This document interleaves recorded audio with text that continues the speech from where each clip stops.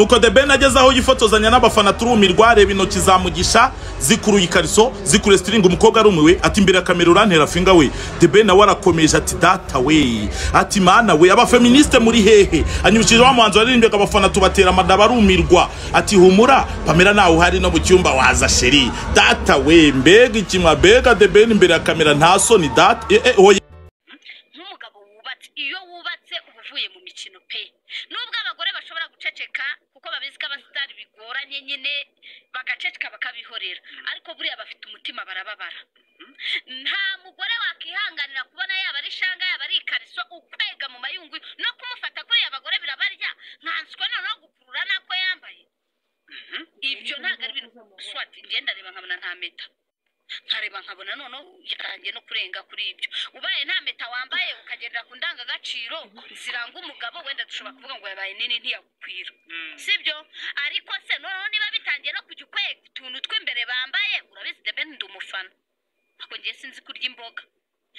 Noneho niba bigeze kugukurura hariya koko wavuga iki koko? Twese tureke kuvuga ngo ni ukumwota ni ukugira iki? Nta n'ikirenze yakoze pe. Ariko nk'umugabo wubatse twe turi kwibaza ngo ese nk'umugabo wubatse biriya byari bikwiye mu bantu. Si uvuze se ngo yakoze hano yumva ashanga? Niko umukobwa yivugiye. None se niba ugiye kwifotozanya n'umuntu ugiye no gukontorora ibyo yambaye? Ibyo se birimo ariko mwajye mureka gushyigikira amafuti niba tumufana turamufana rwose n'umuntu umuvuga nabi buriya nawe ndamugarukaho nyuma. Ariko pe biriya bintu ntabwo bikwiye niba ugiye kwifotoza isura irahari wijya gufata n'ibyo yambariyeho. Ubwo se usanze ari nk'agashumi yizirikiye twa tukariso bazirika ku ruhande n'aha ngaha ukabura kazirikuye ntiyagenda imuhuruka. Ko mwagiye mureka? Gushyigikira amafuti mubizi ko hari udukariso bapfundikira? Eh, ubwo se upfunduye iryo pfundo urayaya akambara mu kaguru kamwe ko rumiwe ngewe imyambarire y'abakobwa mugomba kuyubaha dore ko uyu mwari yari yiyambariye ni birebire niko nabonye rero byanamubangamiye uko mutabibonye mu maso ye yumiwe. Ni hano ho pe. Umugabo wubatse hari imico aba adakwiriye kugira rwose. Ibintu byo gukurura amakariso n'ibyo abagore bambariyeho ntabwo aba akwiye kubikora. Gusa iyo yakuruye. Nese niba atari yo yakuruye hariya si mu mukubo w'ikariso neza. Yahakoreraga. Ku nyir'ubwite yavuze ko yari yambariyemo shanga. None se yu- kuki yagiye kumukabakabaga amenye ko ayambariye? Buriya yakoze uyumva kiramubangamiye. Iyo kimubangamira agafata aha mu rubavu. Ubundi ni ngombwa ngo mwifotoze mufashe mu nyo z'abagore. Nimwanifoza gutoza ngo umufate mu- akaboko. Ntiwanahagarara ngo umere gutya. Ariko uri umugabo wanjye nagususura we. Yewe we. Ugakurura umukubo w'ikariso y'umugore wazana kuri umukubo wa bogisa wawe akaba ari wo munigisha wo iryo joro. Ari ukuvuga ngo ni the ben w'umuhanzi uri kwifotozanya n'umufana we. Hari hari ikosa ryaba ririmo? Kuba ari umuhanzi agakora biriya nta kosa ririmo kuko n'ubundi abahanzi bagira udushya twinshi nako kaba ari agashya. Ariko kuba ari umugabo w'umuntu yubatse kabona impeta ntayo kabona n'igikorwa akoze. Ntabwo cyari gikwiriye. Ibyo ni ibintu bibiri nshobora guhuza nkahita mvuga ngo neva ntabwo ibi bikwiye. Umugabo wubatse ntashinzwe kujya gukontorora mayo n'ibyo bambariye kuri mayo. Z'abandi bagore cyangwa z'abandi bakobwa. Izo ntabwo ari indangagaciro z'umugabo wubatse. Ko kuba umugabo yubatse ari no mu kazi. Akazi ukora utafashe imiguno y'ikariso y'abakobwa n'izo shanga. Ntabwo kakorwa. Mwebwe ahubwo hari akantu mutazi. Hari igihe ukora ibintu uzi ngo ni akantu gatoya. Gato. Utazi uko kari bugaragare kangana mu bandi bantu. Ese kuri uyu mwana w'umukobwa byaba byaramubangamiye cyangwa ubwo byaba uyu mwana w'umukobwa byaramubangamiye bi- bikinaba sibyo kandi ntekereza neza yuko na nyiri umugabo nawe bitamushimisha. Iyo umugabo n'umugore baba ba- babana cyangwa batabana iyo bagiye kwifotoza bafatana gute? Iyo umugore n'umugabo bagiye kwifotozanya bafatana muri porutesheri batabana? Baba babana cyangwa batabana kuko ndakeka hari n'ibiki se baba batuzuza ubundi. Eh, wemerewe gufatira wemerewe gufata sheri muri porotesheri umugore w'abandi? Byo kuki yo numva ubifashe nk'aho ari semple nababwiye yuko bagomba guhagarara gutya. Amapoto. Amapoto se amapoto ibikiri muri pasiporo. Ni iyihe foto sirenzi ya pasiporo bahagarara gutya? Si zo zijya ku ndangamuntu no kuri pasiporo? Iyo positeri uzi ukuntu irenze. Ushatse gusobanura iki? Ko wenda atari hariya bari bahuriye. Mwebwe mugahita mubona ngo ni hariya. Wenda bari basanzwe baziranye ni umushuti wa famire ntawamenya. Kuko nawe numva ukuntu mwahura umuntu rimwe ugahita umukurura kuriya. Hari respect uba ugomba guha umuntu utazi kubera ko utazi uburyo ki yiyubahamo.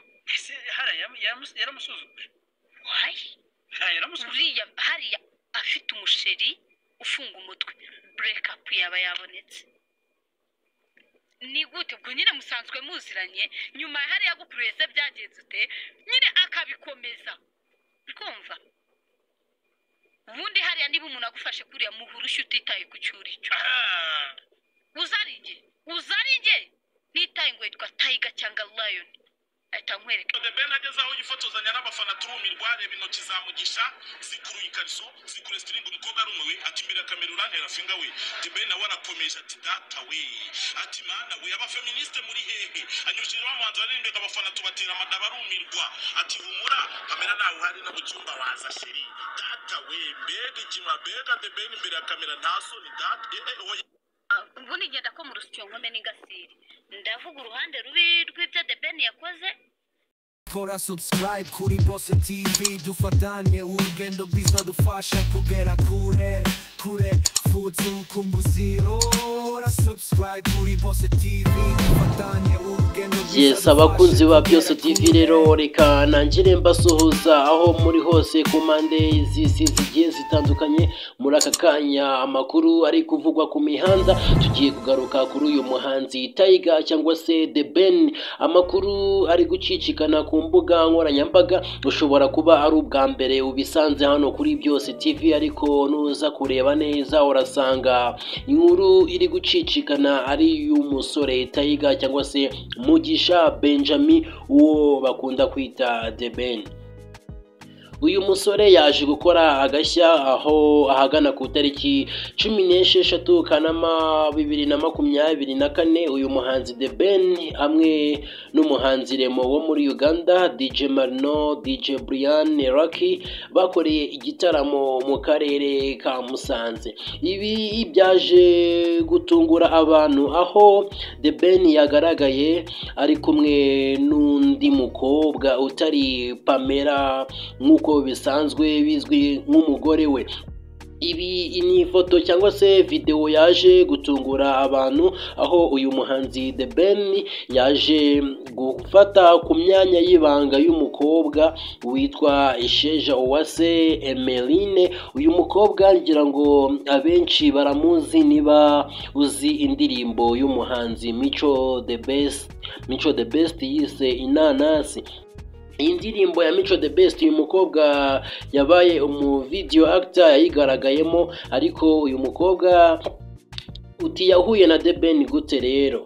Aha byari mu birori byo gufungura Silver Bar Coffee mu karere ka Musanze. Umujyi wa Musanze wari ushyushye cyane bitewe n'ibyo byamamare byataramiye mu karere ka Musanze. Kuri uwo munsi rero umuhanzi The Ben ndetse n'aba basitari nakubwiye DJ Brian Remo wo muri Uganda DJ Marno batembereye mu karere ka Musanze bagenda biyerekana mu bafana. Noneho haje kugerwaho umwanya wo gufata amafoto ndetse no kuba bakwishimana n'umuhanzi The Ben. Umuhanzi The Ben ari ku rubyiniro ari kuri stage ni bwo batangiye kugenda bajya kwifotozanya nawe hanyuma haza kugaragara uyu mukobwa isheja uwase emeline amusanga ku rubyiniro hanyuma babona gufata ifoto y'urwibutso ndetse habaza gufata videwo abandi bantu bagiye bifotozanya na The Ben ubwabo bagiye bafata ifoto ariko uyu mukobwa we yagezweho ahitamo gufata videwo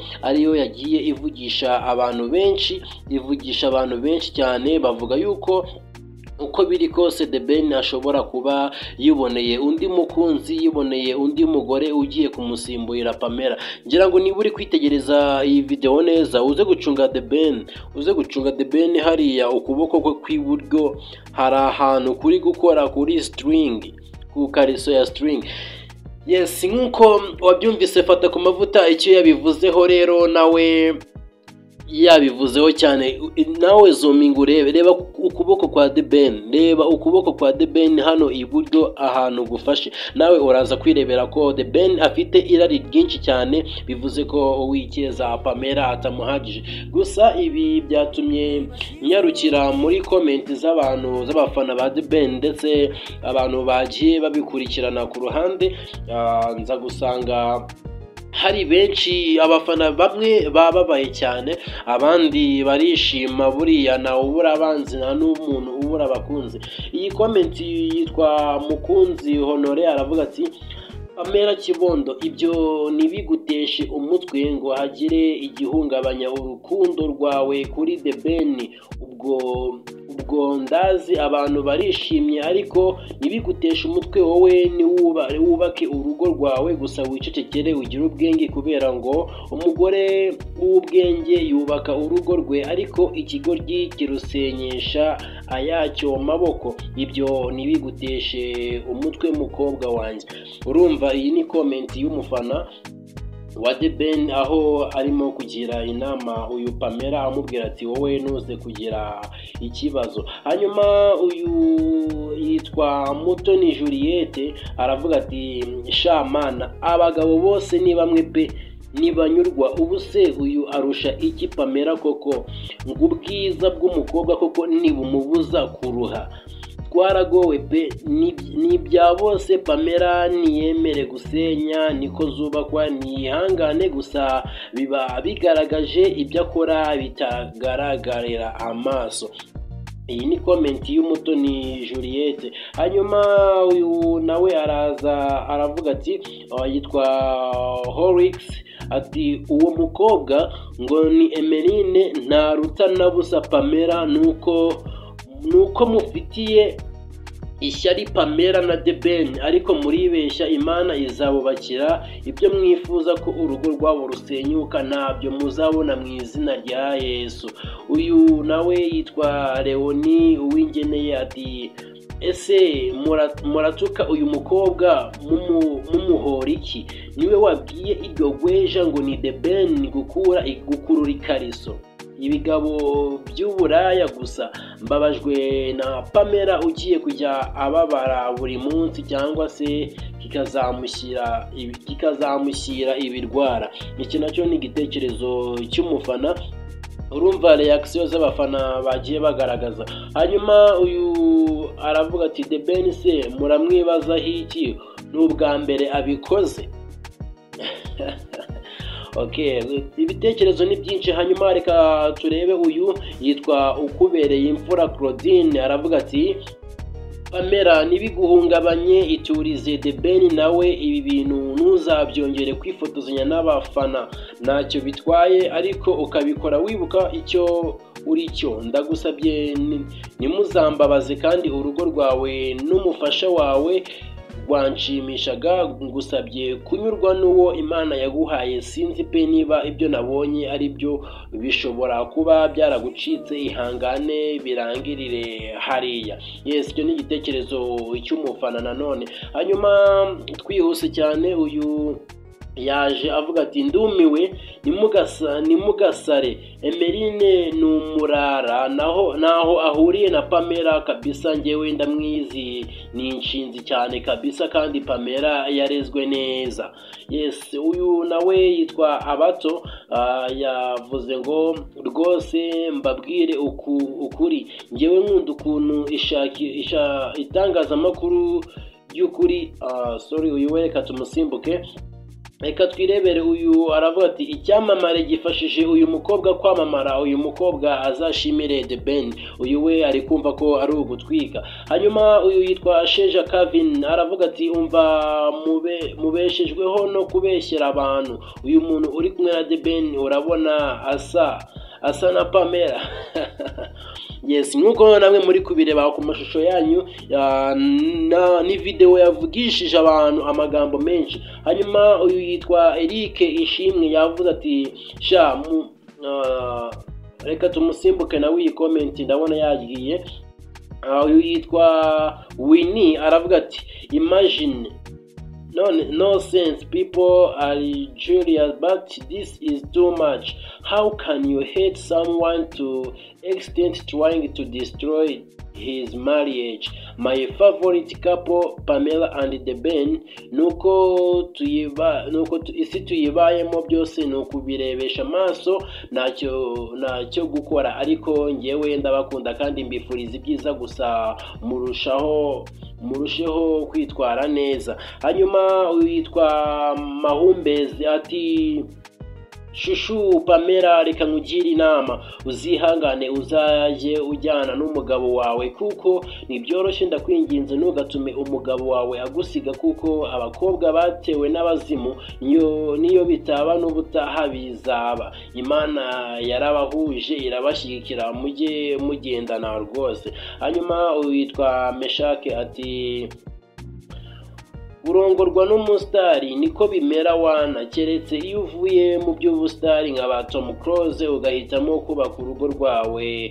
Umugore naho ubundi umugore arasara. Fata ku mavuta nawe ah, uyu ni umufana nanone wagarutse kuri fata ku mavuta ngira ngo mwamwumvise. Fata ku mavuta arongeye harya ngo bari baramuroze none aragarutse ashaka gusenyera abandi ubanza nta somo yakuyemo. Uyu nawe yitwa jean batiste ubundi se ninde wababwiye ko umugabo agenewe umugore umwe?